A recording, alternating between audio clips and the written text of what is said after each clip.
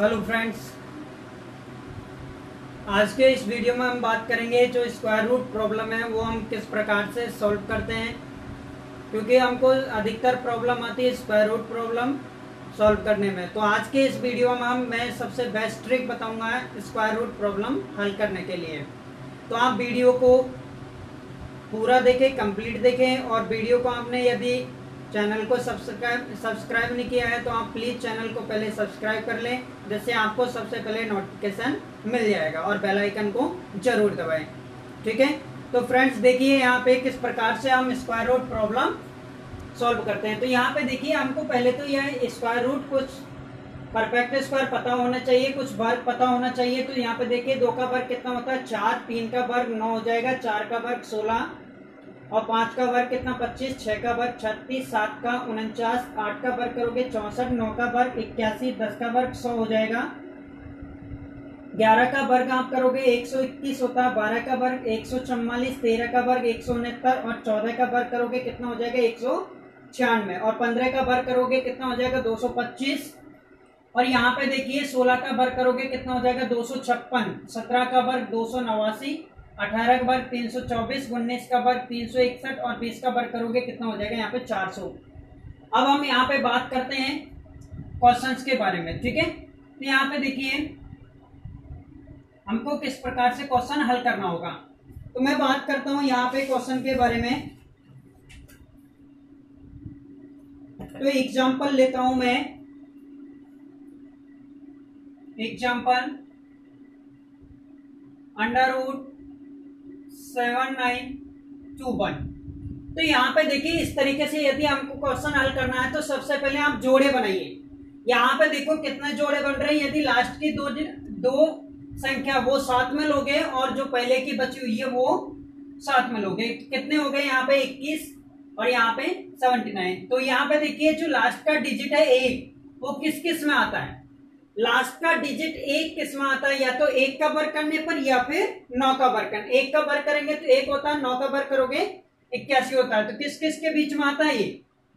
या तो एक के में आएगा, या फिर नौ के में आएगा। या तो लास्ट में एक होगा, या फिर लास्ट में कितना होगा? नौ हो जाएगा। तो हम बात करते हैं यहाँ पे। अब यहाँ पे देखिए सेवेंटी नाइन। ये कितना सेवेंटी नाइन है? हमने लास्ट में इक्कीस का तो कर लिया। इक्कीस के लास्ट में कितना इकाई एक है। एक अंक किसके पीछे आता है? किसके वर्ग के पीछे आता है? एक का वर्ग करोगे, एक होता है, नौ का वर्ग करोगे, कितना होता है? इक्यासी, जो इसकी टेबल में प्रीवियस वीडियो में बता चुका हूँ। तो यहाँ पे देखिए सेवेंटी नाइन। अब ये उनहत्तर ये सेवेंटी नाइन है। सेवेंटी नाइन किसके बीच में आता है? तो सेवेंटी नाइन देखिए, सिक्सटी फोर और एटी वन के बीच में आता है।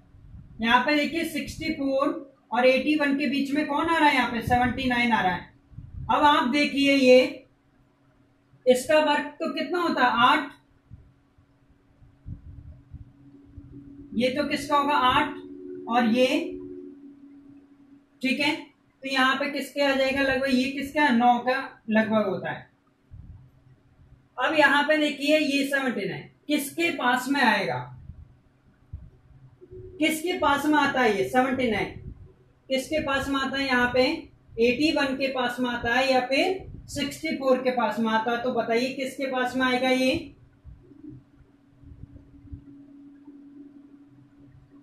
एटी वन के पास में आएगा।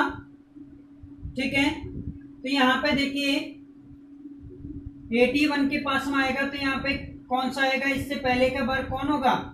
यहाँ पे या तो एट होगा। यहाँ पे या तो एट होगा। या एटी नाइन होगा। तो यहाँ पे देखिए, ये किसके पास में आता है? इक्यासी के पास में, इक्यासी के पास में आएगा तो कितना हो जाएगा? यहाँ पे एटी नाइन हो जाएगा। ठीक है?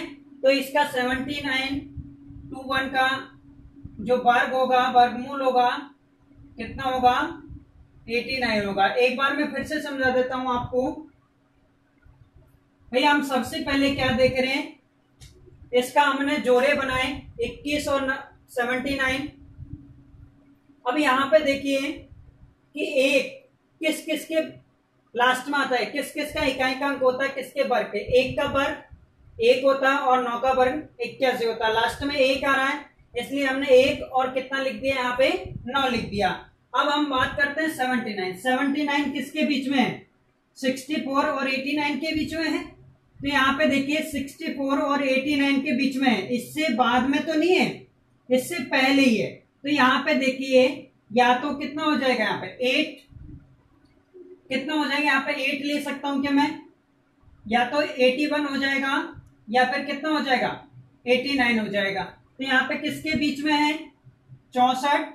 और किसके एटी वन के बीच में है? कौन सा? सेवेंटी नाइन अब आप बताइए, ये किसके पास में जिसके पास में होगा, उससे ही उसके, उससे ही किसके पास में है ये? इसके पास में? तो यहाँ पे देखिए एटी नाइन किसके पास में होता है? ये तो यहाँ पे क्या हो जाएगा? एटी नाइन आंसर हो जाएगा।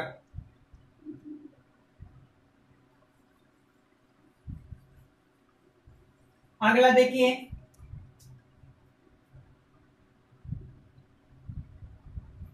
क्या है हमारे पास? दे रखा हमको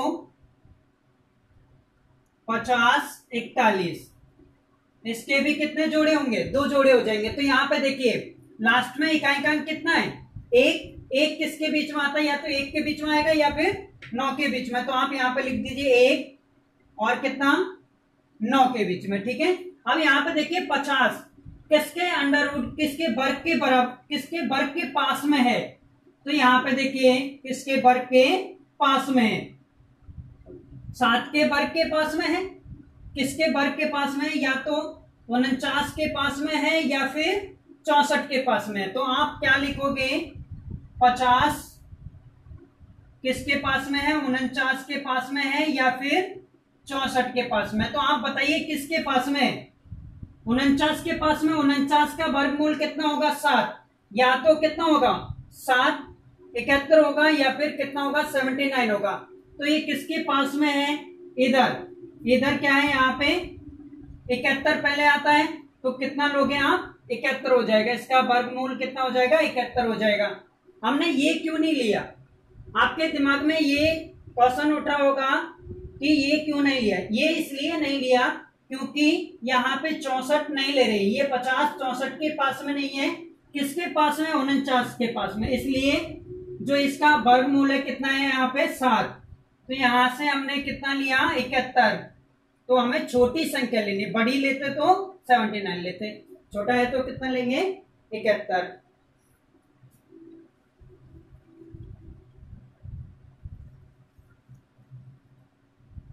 देखिए देखिए हम अगले क्वेश्चन के बारे में बात करते हैं। यहाँ पे देखिए, बारह सौ छियानवे। ये क्या है? हमारे पास अपवाद है।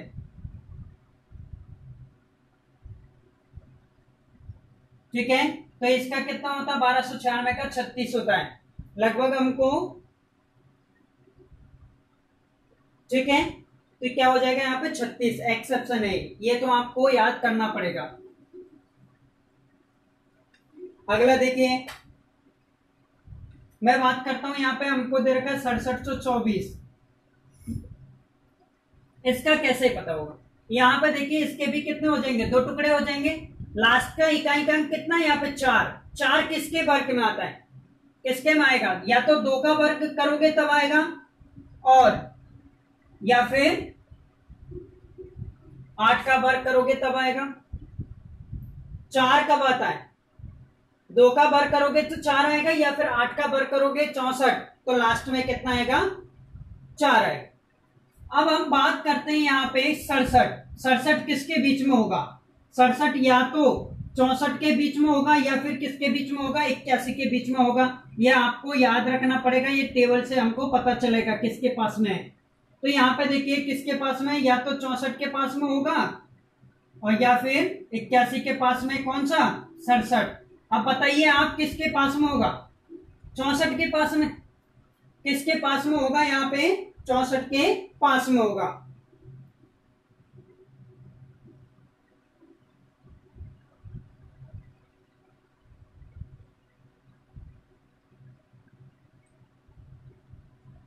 देखिए यहाँ पे, किसके पास में होगा ये? चौसठ के पास में होगा। चौसठ का वर्गमूल कितना होता है? आठ होता है। तो यहाँ पे कितना? आठ और ये भी आठ। अब बताओ ये चौसठ और इक्यासी, ये छोटी संख्या है ये बड़ी संख्या? तो हमने कौन, किसके पास में आया है? छोटी संख्या। के छोटी संख्या कौन सी है यहाँ पे? बियासी।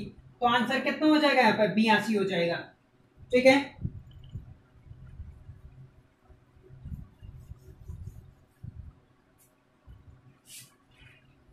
अगला देखिए। एग्ज़ाम्पल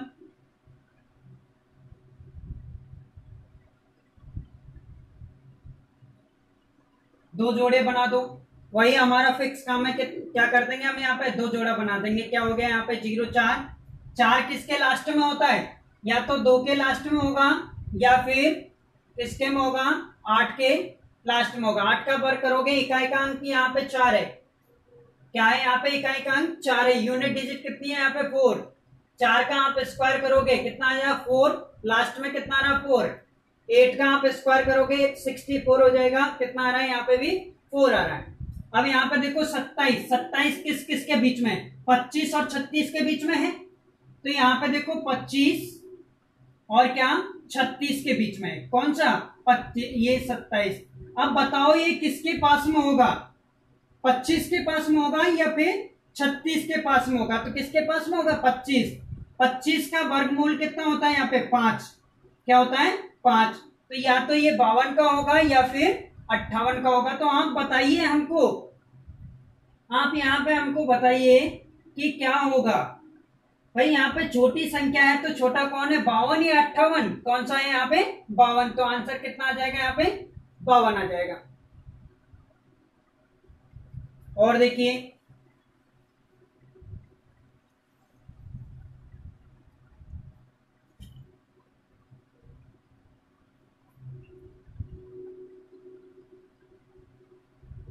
अब यहाँ पे देखिए इसको आप कैसे हल करोगे? तो यहाँ पे देखिए हमको क्या दे रखा है? यहाँ पे ये छियानवे और इधर कितना? तिहत्तर दे रखा है सेवेंटी थ्री यहाँ पे सिक्स सिक्स किस किस के बीच में आता है? या तो फोर का बर करोगे, कितना आ जाएगा? सिक्सटीन तो यहाँ पे भी सिक्स आता है। और क्या है? सिक्स का बर करोगे तब भी कितना आएगा? सिक्स आता है। सिक्स का स्क्वायर कितना होता है? थर्टी सिक्स तो कितना हो जाएगा यहाँ पे? सिक्स अब यहाँ पे देखिए, हम बात करते हैं सेवेंटी थ्री सेवेंटी थ्री किस किस के पास होगा? सिक्सटी फोर और एटी वन के पास। अब यहाँ पे देखो, किसके बीच में? सिक्सटी फोर और एटी वन सिक्सटी फोर और एटी वन के पास में होगा कौन? सेवेंटी थ्री अब बताओ आप किसके बीच में होगा? आप बताओ किसके पास में होगा? भाई यहाँ पे देखो।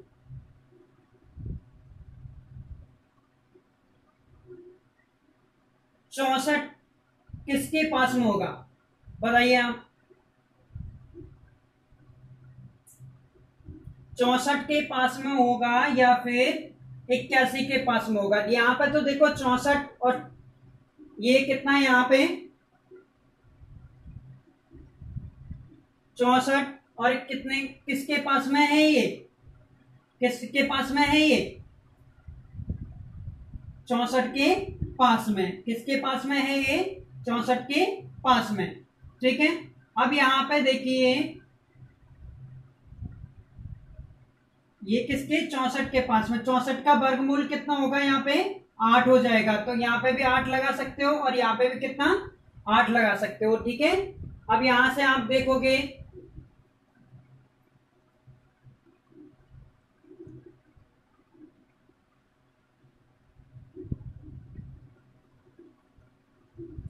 अब यहाँ पे देखिए ये किसके पास में होगा? तो यहाँ पे तो कितना? नौ का अंतर आ रहा है और यहाँ पे कितने का अंतर आ रहा है? आठ का अंतर आ रहा है। ठीक है? तो क्या हो जाएगा यहाँ पे? बड़ा वाला हो जाएगा, इक्यासी।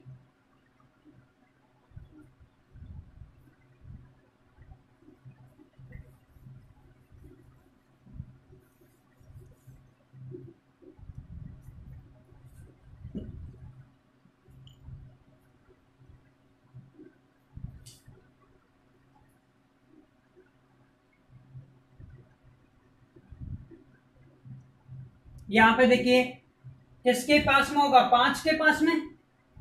ये और ये। किसके? पाँच ही होगा यहाँ पे तो।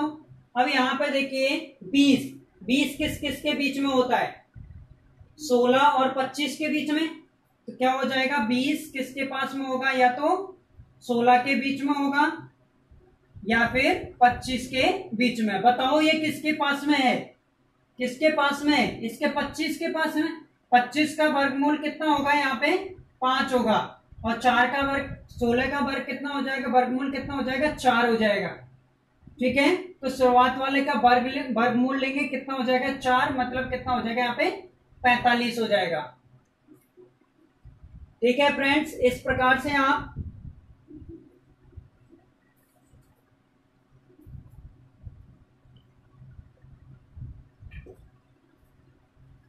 ठीक है फ्रेंड्स इस प्रकार से आप क्या कर सकते हो? कोई भी अंडर रूट कोई भी वर्गमूल वाली संख्या हो तो आप उनको फाइंड कर सकते हो। चैनल को सब्सक्राइब कीजिए, जिससे आपके पास नोटिफिकेशन जल्दी मिले और बेल आइकन ज़रूर दबाए। Thank you friends